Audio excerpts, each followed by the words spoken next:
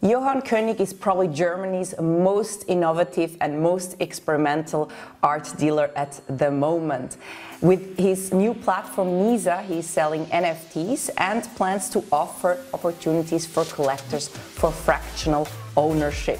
Welcome to Swizz Art Biz. I'm Tanya König and I'm very pleased to have Johann König on the show. Hello, Johann. Hi, thanks for having me. How are you? Good, good, very good. Great. So you just came back from uh, Art Basel very recently. The fair wrapped up end of September. Did you see any differences that it somehow manifested differently? You know, originally art fairs used to be point of sales. Yeah, very much. You bring uh, a certain selection. Sometimes you even hold work back to to bring it to an art fair to um, to present. Like it's also a certain discussion or a platform where it's important for artists to show uh, their new work and also to show somehow their contribution to a certain um, uh, topic going on right now. And because you show it to a wider audience and art needs to be experienced in in person and in real you know so um, this used to be the case now the also through COVID, the ways on how to place work and communicate it uh, are um, so multi-channel. You know, from um, from live chats to online viewing rooms to um, to VR to AR, um, so that the that I think the fairs will we, we, we join um, a program in Art Basel for many years, which is called Art Parcours, which we also did this time with uh, the Swiss artist Claudia Comte, which is um, uh, a project running throughout the city.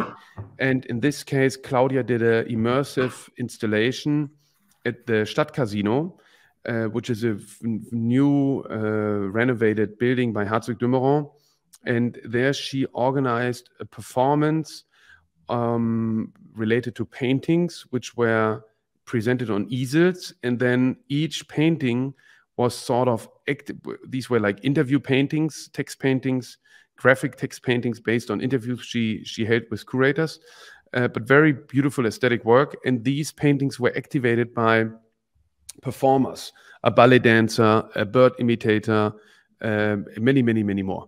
And this, I think, is the future of the art fair. You know, less point of sale where people bring um, their top artworks for, for, for selling, because this we can do throughout the year anyway. And there still will be a part where it's about presenting the new work to a wider audience, but maybe less as a point of sale, more as a point of presentation and contextualization and the um, the um, the art parcours, for example, offers the possibility to. It's more like a festival or conference, or uh, and this is, I think, very interesting and uh, smart ways of the fair uh, going this going this forward. direction. Although you have to also see it's very um, resource intense. Resources mm. on um, financial side, but also uh, ecological resources, which I think is a debate after COVID is over, um, will come back at us for good reason. Absolutely. I was just about to say, because uh, I saw that you told ArtNet News that uh, fairs are increasingly inefficient, especially when you factor in the shipping costs, expenses for staff, and ecological footprint. So I was even wondering why did you even participate in a, in a physical fair then? Oh, I mean, um, uh, Basel is is within our region, and um, the uh, the effort uh, on the resources on on on both ends, you know, financial as well as ecological resources, are uh, quite overseeable, and I think also it's necessary to to travel and it's necessary to to bring um, work the question is is it really necessary to bring it all over to Miami and to Hong Kong for us? you know, mm-hmm. um, or uh, for example, to eventually then uh, cater to these fairs from a more local perspective. But then again, if the point of sale is not so important anymore, um, how could also looking at other industries, can fairs still provide um, as a meeting ground and uh, exchange platform? Because I think it's very important to see see another and um, and um, and have the personal contact. Uh, the, the the big question is going to be how is it going to be more uh, efficient on all all ends? How did you do, by the way, at Art Basel? So was it a success? Because I spoke to one uh, art dealer, a Swiss one, a mid-sized gallery, and he said it was the best Art Basel ever. No, it was a, a very big success. Um, actually, quite quite surprising um, throughout the whole week. Um, the you know originally it's it's very much all on the first day or first uh, first two days. But here you know the air wasn't burning like usual um, and there wasn't this competition. But also here it started about five years ago that a lot of works were pre-sold or um, and somehow this has uh, come to a new you know these behaviors they change over time.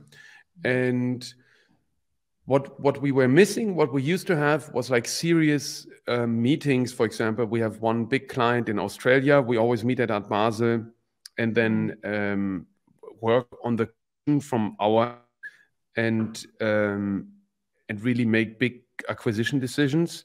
And this couldn't take place. Um, I think we did the same business um, just throughout the year. You know, mm-hmm. whenever there's a work going to an exhibition and we think that's a good fit for the collection, um, we sit down on Zoom. Um, and um, but still, surprisingly, the fair was uh, was good. Well, then uh, let's talk about um, basically your startup. Let's call it Misa within your gallery, um, which you launched during the pandemic, I think last year. Um, and you do several things there. You even mix a primary and secondary market um, by staging an art fair in your own gallery, St. Agnes. Can you maybe quickly explain to those that have no clue what I'm talking about what Misa Absolutely. is? Absolutely. So Misa is a platform for primary and secondary market, including um, NFTs. So it is a online platform with seasonal offline events. So it's a um, fully transactional um, buy now platform um, where you can buy and sell contemporary art. And the um, uh, the platform is then um, additionally activated by different formats we are we are running. So we started during um, the early stage of uh, Corona in September, no, was summer 2020. We did the first Misa here in St. Agnes. So Misa stands for Messe in St. Agnes, but because it's very German and it is a word play on um, the, the Messe, which is um, a service but also a fair in a church. Um, so to internationalize it, we call it Misa now. And at the beginning, we thought, what alternative can we use to all the canceled art fairs? And then we invited fellow artists, fellow dealers, gallerists, and collectors to um, join us in presenting the artworks they wanted to sell. So we mix primary and secondary market because we come uh, for Misa, we come from a, a client or collector's perspective, and what they want is to buy best possible art, uh, either from secondary or primary market. Mm-hmm. And then we uh, started to um, uh, do it in the third edition to organize it a bit more, um, again, custom, so to speak. In so we had one section, uh, Junge Wilde, which is a painter movement here from Berlin in the 80s.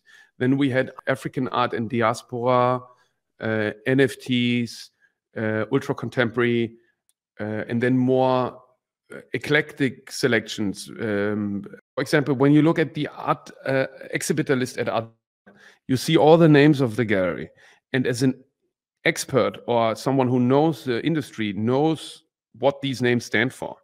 But for some, um, for people who are entering the art market, which is our main aim to to open the art market to a wider audience, for them, Koenig Gallery doesn't really mean much. Um, figuring or post-war or um, uh, African American uh, uh, or, or, you name it um, gives a certain um, orientation. Or pop art, we had the pop art as well with Jeff mm-hmm. Koons and and and and many more. So um, and then in the second step, we also did MISA Discoveries, which was 20 booths by up and coming artists. And so now we are um, doing another uh, MISA uh, solo booth from young to established in, in Cologne, parallel to Art Cologne. And um, all these offline exhibitions, selling exhibitions, are also always available online. And online is much more information, even because there you have condition reports, background infos, interviews with artists, interviews with collectors, um, and a lot of technology, which helps you uh, have the best um, customer experience. So we mm-hmm. ask ourselves, why do people don't buy art? And um, we identify reasons. One is surprisingly simple one uh, the side costs, which are hard to um, adjust. Uh, for example, shipping. So we built an API, where which means um, um, um, maybe for those not so familiar with terms, it's a direct um, price uh, calculation, how much the painting or sculpture uh, costs to ship. Um, mm. Then we built um, in uh, a rating so you can understand, you look at a painting by an artist and you wonder, okay, um, where does he or she stand in the art world hierarchy, so to speak? And we, it's a bit like tennis player uh, best lists. So you see um, the artist ranked globally in the context of all global artists and also by nationality where they from. And uh, on top of this, we built in uh, another um, connection uh, for price evaluation um, based on artificial intelligence and machine learning. So mm-hmm. we have a painting and we ask 200,000 euro, and the AI might say the calculated price is 250 uh, based on auction records and exhibition data or even 150 so there's there's always a spread uh, to the advantage of us or to the disadvantage, but we it's third party data. So we compare the asking price with the estimated price, um, even um, uh, if it's to our uh, disadvantage, because we want to we want to provide orientation. And then last is um, uh, certification on the blockchain. So when you purchase a work, um, it gets uh, certified on the uh, Bitcoin blockchain and um, issued with a digital as well as print certificate, which also um, provides security of authenticity. What I hear is you somehow want to open the access to everyone for art, democratizing the art market, then also uh, full price, price transparency and even not so much influence on the prices because they're generated by AI. Um, no, no, no, no. We we we we show the prices. Um, we define the prices with the artists, the galleries, mm-hmm. or the collectors who who who join us. But yeah. we compare the asking prices with AI pricing. So the AI pricing, of course, in the discussion, in in in the estimation, and coming to the to the right sales price, we we look on the AI, but it's also constantly changing. You know, if there's a result um, uh, automatically the uh, AI estimation is changing, we are not necessarily changing our asking price. So the asking Okay. price is set uh, by humans, so to speak. We just put it in comparison um, uh, by AI. So Okay. um, uh, to to because we want to help. Um, we have like two companies. Gallery is very subjective. Is what we think are the most important artists in the discipline and field. Misa is a curated marketplace with many, many, many artists, but still curated um, and, and, and, and chosen by experts. So one from uh, Lena Winter, who's an expert from the auction world and secondary market. Uh, Laura Atanasio, who is a, um, a, a long-time expert in contemporary art. Uh, Annika Meyer, who's uh, an expert on NFTs, and Daniel Jansen, who's a print and edition expert. So we have these um, specialists focusing on their verticals, and they do the pricing with the artist, client, or dealer. And we just compare these prices by AI uh, in case of painting, because the AI doesn't uh, uh, can't read NFTs, sculptures, or uh, photography. As you mentioned, you had this first art fair uh, in, in summer 2020 where you invited collectors, artists, and um, galleries as well, Exactly, galleries and art dealers. art dealers to sell in your spaces, which is so unusual, right? Um, I'm sure there were other competitors that were not maybe so happy about it. Sure. I mean, there were. Um, it, it, it started some interesting discussions. There was uh, one artist, for example, who who didn't feel comfortable being included, um, Why? um, because um, I think that they. Honestly, I think because there's no market for the work, and um, although I think if even if prices are low, they are often um, an opportunity. Um, so I think that the that the art market is quite hypocrite, and I think that low prices in the secondary market, of course, pressure on the primary market, but at the same time, they offer opportunities for new participants. You know, so the whole the whole uh, what drives collecting, I think, is connoisseurship, and um, to also identify relevance um, before others do. So you can, and that's I think so wonderful about the art market that you can still discover um, amazing positions at relatively uh, low costs, which will become uh, more expensive, but uh, will gain more uh, attention later on because you always see certain tendencies of hypes and um, uh, certain movements and focus.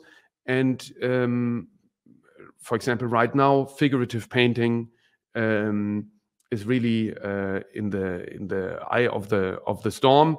Um, but uh, recent and long art history shows us this is not um, uh, lasting forever.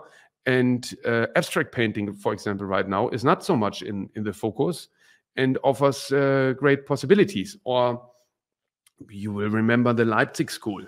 Um, um, they they there are a lot of very important uh, painters among the new Leipzig school, but they are not in fashion uh, in the same way they were I don't know ten years ago, and um, that's why I think that a, that a price is only a certain momentum, um, uh, like a like a picture of a certain momentum, and will and will change.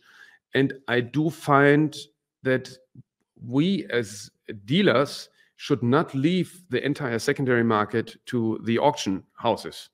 Um, because Why? what we provide with Misa also is um, a great business proposition to collectors who want to part from their uh, artworks eventually because they want to. Usually, when people buy sell art, they do it to buy more art, and um, the the mecha- mechanism of an auction works like this: that you need to uh, have the estimate as low as possible to attract as many bidders as possible.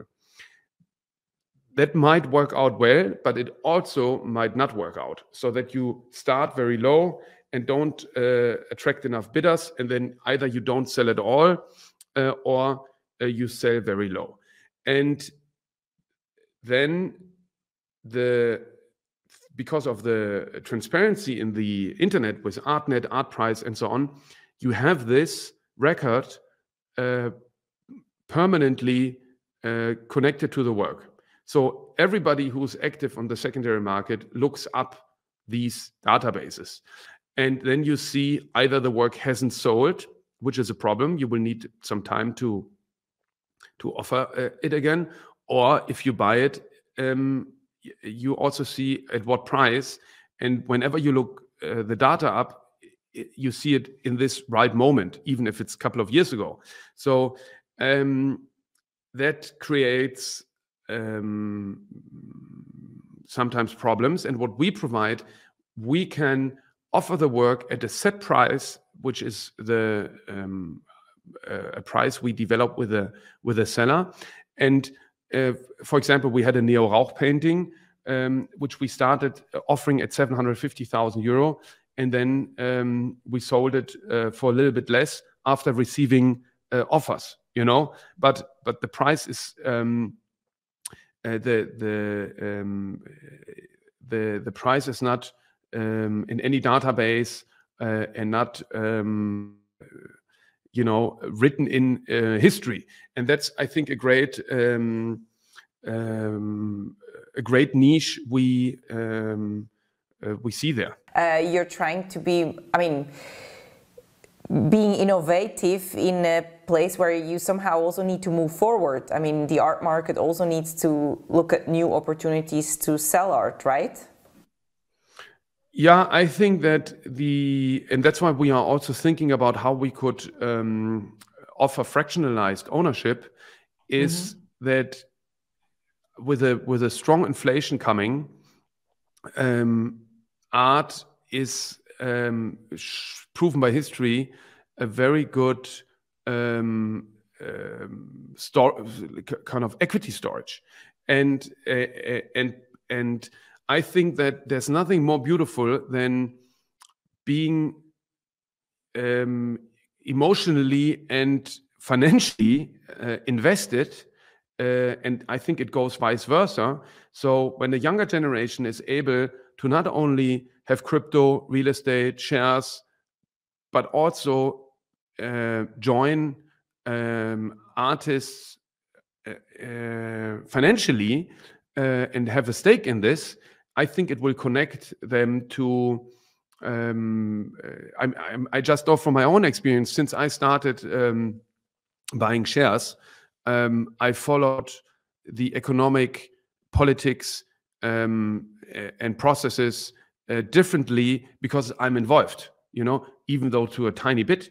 Um, um, uh, I think about how can Germany uh, supply enough electric energy um, for cars uh, because I own Tesla shares, you know, and and this is um, um and and at this point, um, buying art and uh, I mean, there's no family office of of wealthy families which don't have a stake in art, and at this point, uh, blue chip art is only uh, accessible to high net worth individuals, and I think that's wrong interesting perspective. So you offer a fractional ownership, and many might argue in the art world, oh, it's just for investment.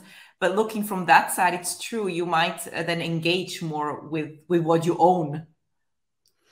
Um, yeah, I find this investment um, approach a little bit also again hypocrite because um, I think that we when we look at the stock market, you know, I would not buy British Petroleum shares. I know that they are uh, have a low evaluation and they have a huge dividend, but I don't identify with what they're doing. So I'm not investing, even though I know it would be probably financially smart to do so.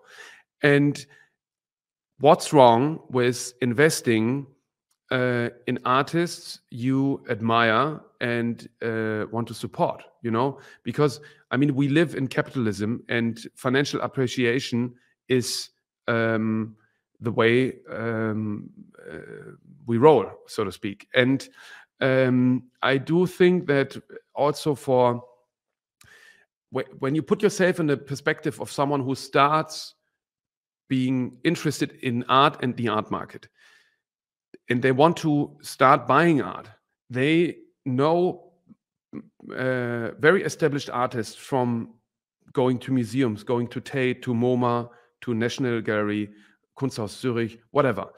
But these artists are usually without reach because they are usually very expensive in in in in relation to normal people's income and even if you have the funds do you want to um, have such a, a, volume on one um, uh, investment so to speak or artwork.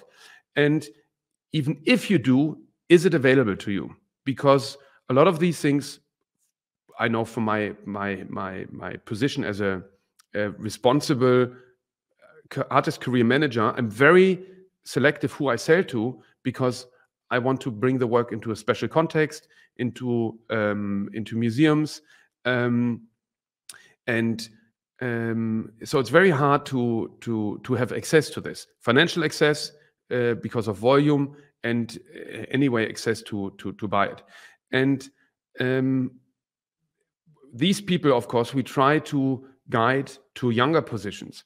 But that's often not so easy because often the the the, the young positions also already have uh, very uh, high demand, and also it's people can't really relate to it so much because they know artists from I don't know documentaries, exhibitions, catalogs, um, uh, you know, like like um, um, more established artists, and if we can get these people who are interested in this to join um, uh, the stake of this, they might they will get used to the art market. They will understand the mechanic, me mechanics, and they understand how how cultural context and the canon is built. And then I'm very confident they will start to buy younger art as well because they understood um, how it works. And in this consequence, you will see more artists be able to live of their work because there will be a bigger art market and there will be more people buying art in a cascade starting at blue chip going down to um, because people will learn um, how the art market works.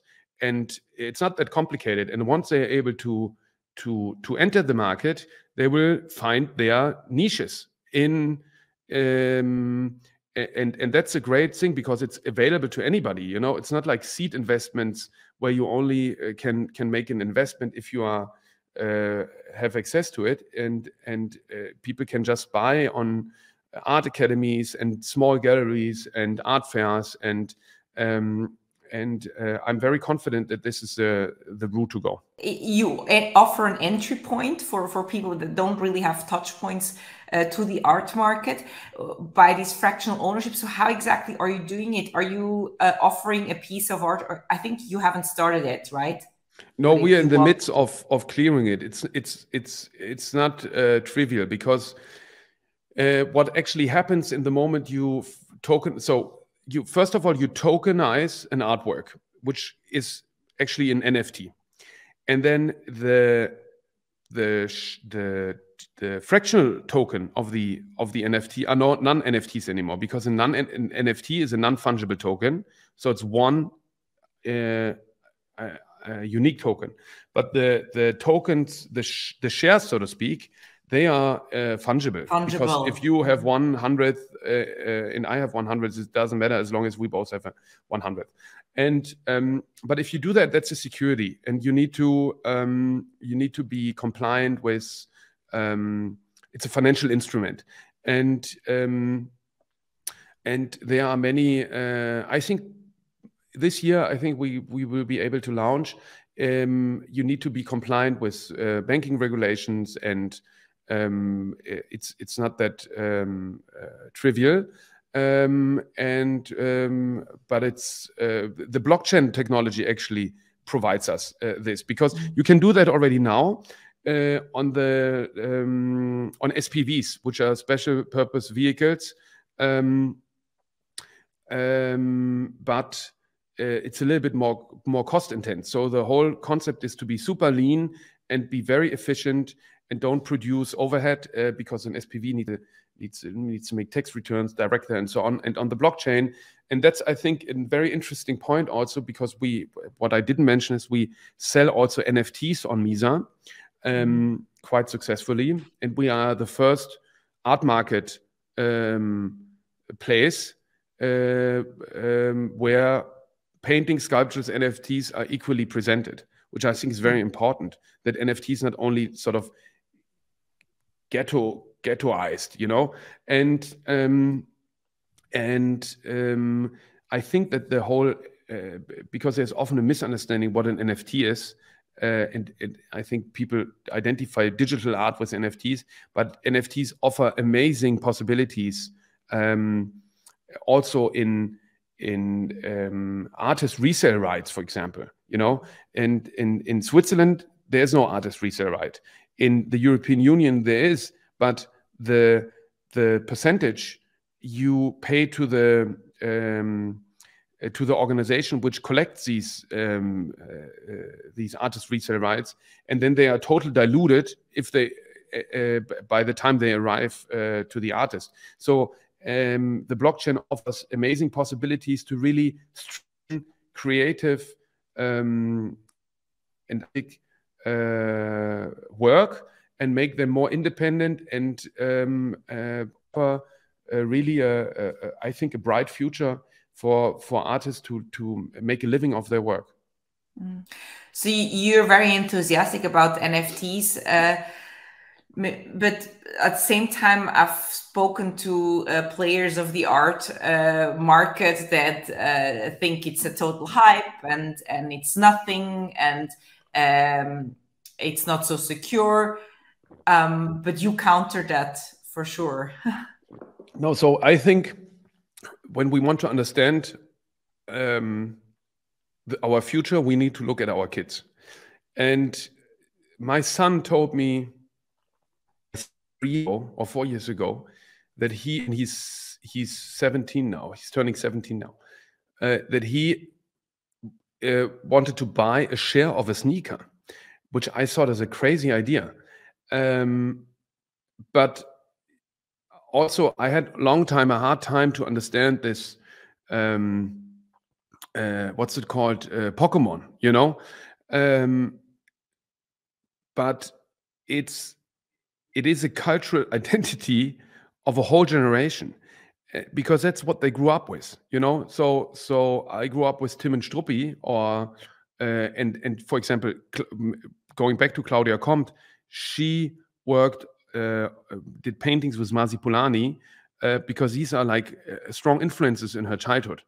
And so we should not underestimate um, digital native generations and their understanding of collectibles. And I mean, now Twitter um, uh, uh, made a connection. Like if you own a CryptoPunk and you put it as your profile picture, you need to, or you can verify it and connect it to your wallet that it's yours you know? So what used to be the i don't know status symbol of a, a patek um, is now uh, this you know? And they live in the metaverse. I mean how much time we are spending time right now on the internet. How much time do we all spend on our phones and i know from my collecting practice i buy i bought a sculpture at art basel i very much likely won't see it for the next couple of years you know, because it goes straight to straight to storage.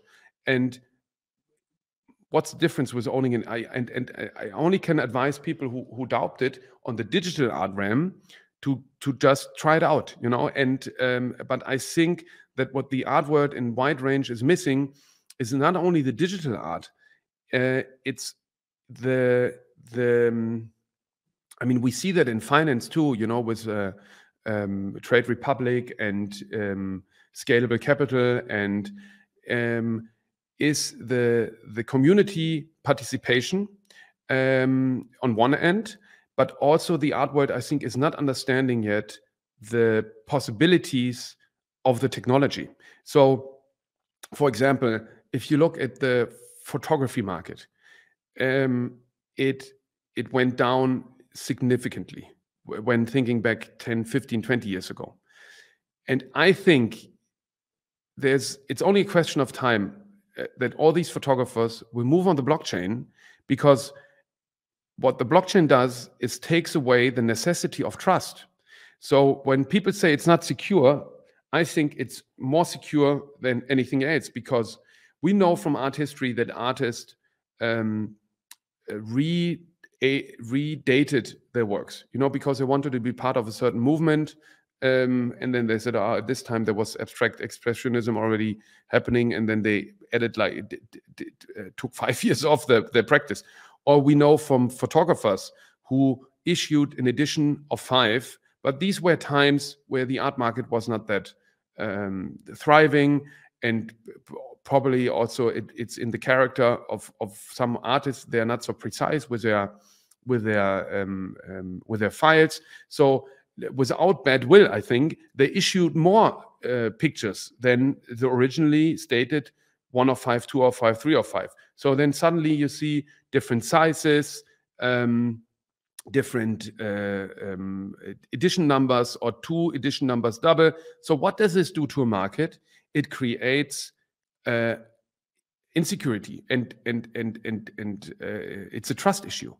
And once that happens, I think we as art world insiders sometimes don't understand. We know how liable we are and how serious we take these things. But you know, we had these cases of forgery um, uh, with uh, Beltracchi, then Inigo Philbrick, multiple selling artworks, the same artwork over and over again. Um, and uh, Helge Achenbach, who who who overcharged clients for consultancy. All these things aren't possible on the blockchain. You can't uh, uh, issue an edition of five and sell a fixed one. It's not possible. You know, it's it's like it's it's it's all it's like imagine you have real estate market and take away the the the registry and the notarium. I mean, you know, who would still uh, invest in in real estate? So I think that that um, this is a very important factor which hasn't really um, um, uh, been fully understood by the most participant. Johann König, uh, very interesting things. I, would love to continue uh, talking to you, but I think uh, our time is up, and I'll leave that for a future uh, podcast. Uh, many questions that I still have on my list, so I hope you join me then again. Absolutely, pleasure speaking with you. Thank you very much. And thank you very much uh, for listening to Swizz Art Biz. Um, thank you for supporting it. Make sure to follow it on Spotify and Apple Podcasts. That you can also watch the video of this interview on YouTube. See you next time. Bye bye. Ciao. Bye. Thank you so much.